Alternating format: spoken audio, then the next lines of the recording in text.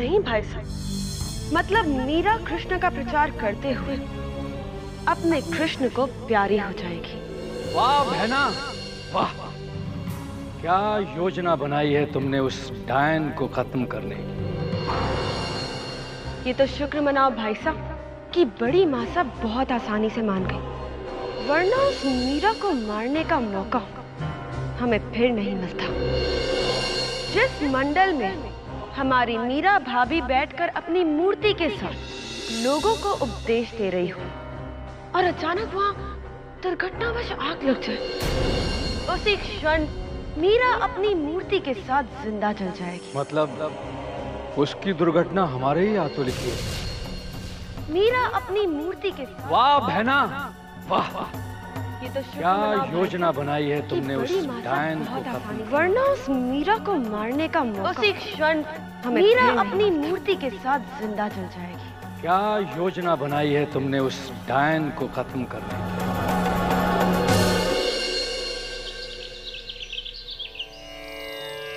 मैं ना कोई साधु संत हूँ ना ही कोई महात्मा। मैं तो केवल एक कृष्ण भक्त हूँ। और यही भक्ति यही प्रेम मैं आप सब में बांटना चाहती हूँ। बचपन से लेकर आज तक, कृष्ण ही मेरे सच्चे साथी रहे हैं। मैं खिलौनों के साथ नहीं, अपने गोपाल के साथ खेलकर बड़ी हुई हूँ। जब भी कोई दुख आया, कोई परेशानी आई तो मैंने उन्हें पुकारा। और उन्होंने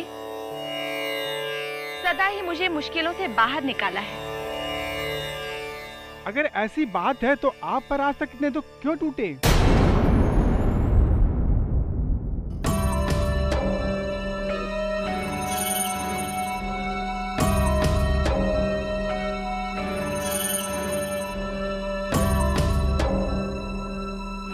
खम्मा राणा साहब कहिए। क्या हुक्म है मेरे लिए? आओ आओ खेत सिंह। अच्छा भेज बनाया है तुमने। अब आपने काम ही ऐसा सौंपा है कि साधुओं के बीच जाकर मीराबाई पर हमला करना है। तो साधुओं का भेष तो धरना ही होगा।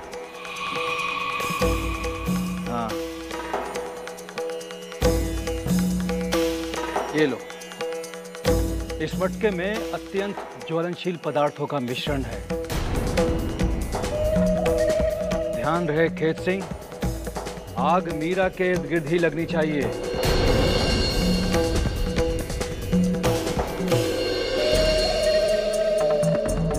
और जब तक मीरा और उसकी मूर्ति दोनों ज़िंदा ना जल जाए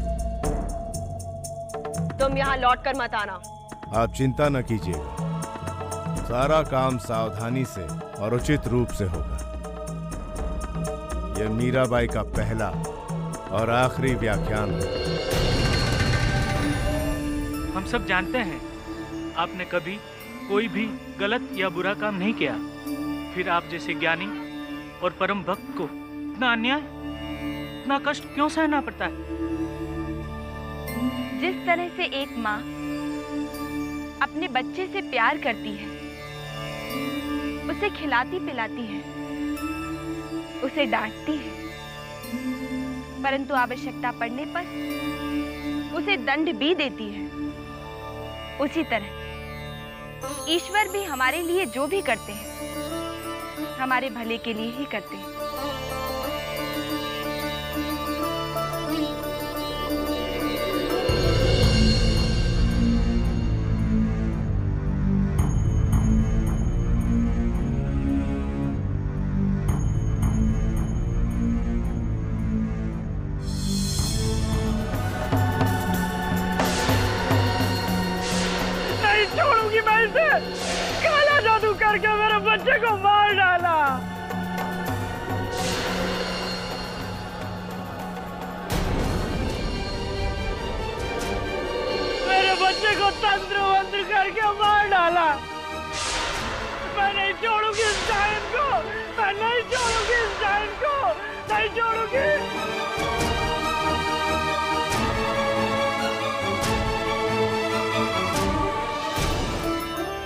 पर भक्त को दुख देने में कैसा भला?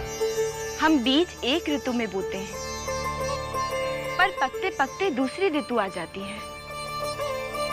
तब जाके हम उसके फल काटते हैं। उसी तरह, एक जन्म में हम जो भी कर्म करते हैं, उसका कर्म फल हम दूसरे जन्म में भोगते हैं। यही सृष्टि का नियम है। भक्त मीराबाई की। परम भक्त मीराबाई की। मीराबाई की। मीराबाई की। मीराबाई की। परम भक्त मीराबाई की।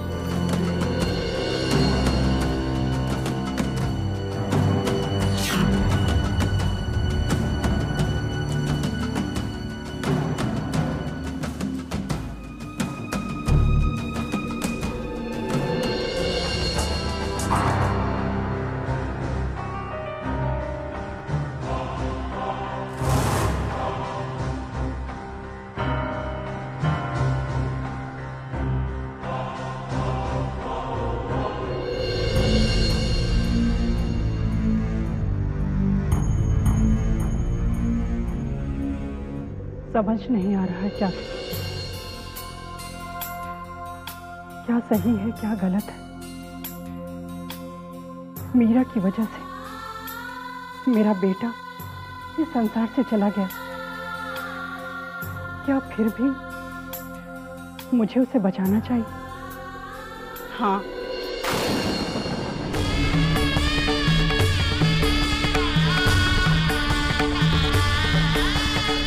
तुम्हें मीरा को बचाना ही चाहिए नहीं! ये मत भूलो कि तुम्हारे पति और बेटे को खा गई है वो डायन नहीं, मीरा ने कुछ भी नहीं किया है। कुंवर भोजराज और राणा सा के साथ जो होना था वही हुआ। तुम्हें एक मरते हुए इंसान को बचाना ही चाहिए। मीरा के मरने पर तुम्हारा हृदय क्यों काँप रहा है? मरने दो उसे। वैसे भी ये तो उसके भाग्य में लिखा है। नहीं, कुबरी भाई। मीरा ने कुछ भी नहीं किया है। मीरा निर्दोष है। जाओ, जाकर उसे बचा लो। नहीं, उसे बचाने मत जाओ। मरने दो उस डायन को। बस करो।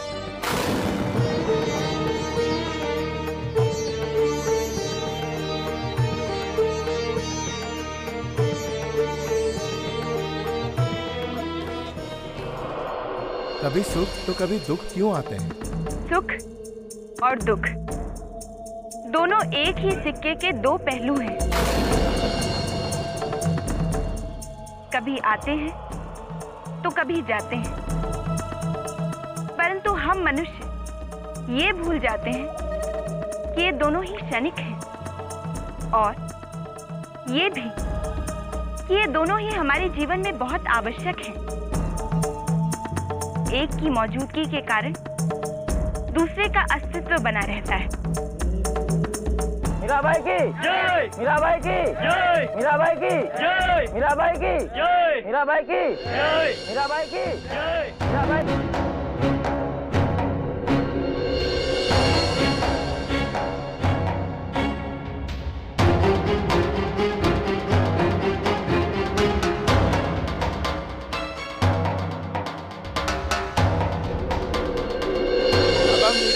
मुख से कृष्ण भजन सुनना चाहते हैं।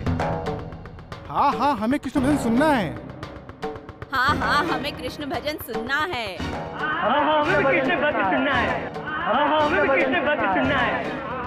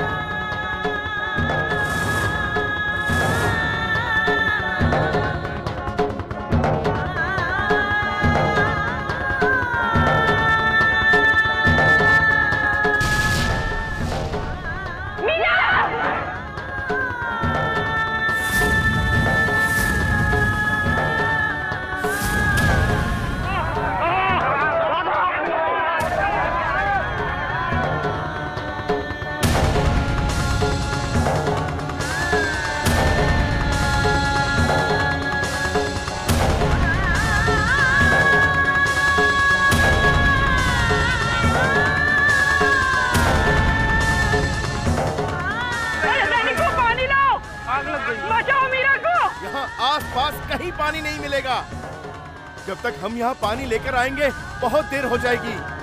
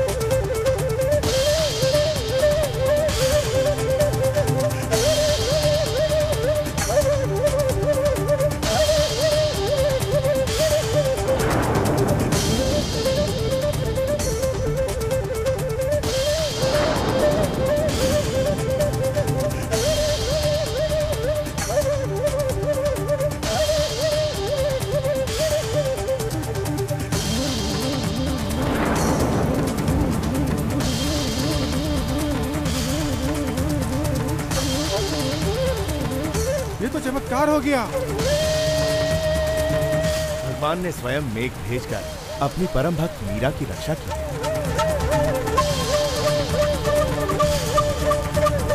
बोलो श्री कृष्ण कन्हैया की। बोलो श्री कृष्ण कन्हैया की। बोलो श्री कृष्ण कन्हैया की। बोलो श्री कृष्ण कन्हैया की।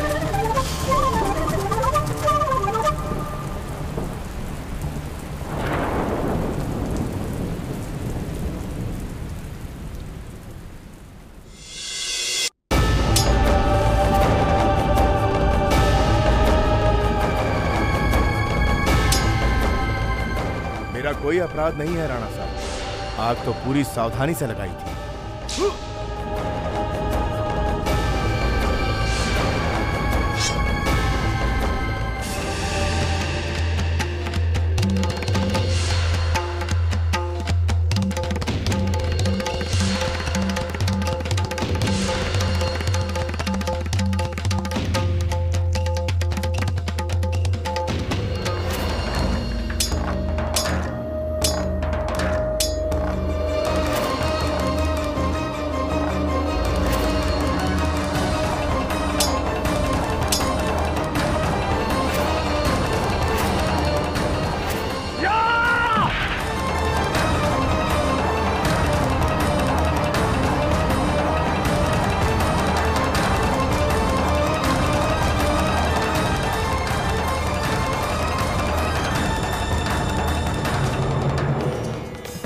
तुम्हारा काल हूँ मैं। तुम्हारी मृत्यु मेरे ही हाथों लिखी है। एक न एक दिन तुम्हें मेरे हाथों मरना ही होगा। वीरा!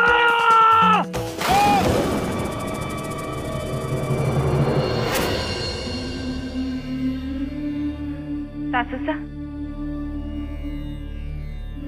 मेरे प्राण बचाने के लिए धन्यवाद।